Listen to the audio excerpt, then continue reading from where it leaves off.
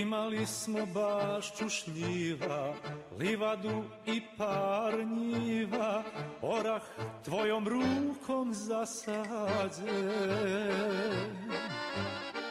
Topli dom za hladne dane, kad miriše čaj od nane, bagremovim medom zaslađen. Zar je život samo slika, crno-bela fotografija?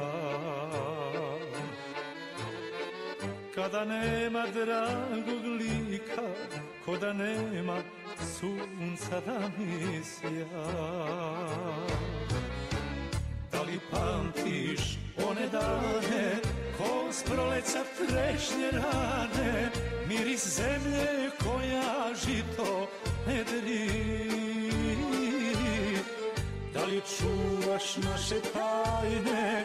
Da li su ti oči sjajne? Posle kiše nebo kad se vedri. Da li pamtiš one dane Ko s trešnje rane? Miris zemlje koja žito nedri da li čuvaš naše tajne, da li su ti oči sjajne, posle kiše nebo kad se vedri.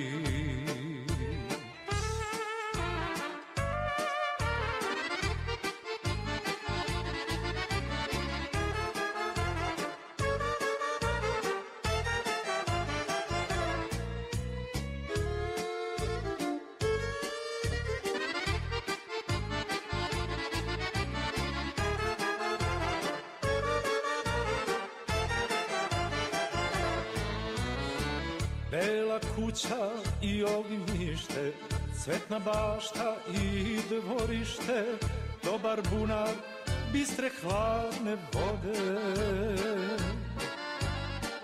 I rakija, ona stara,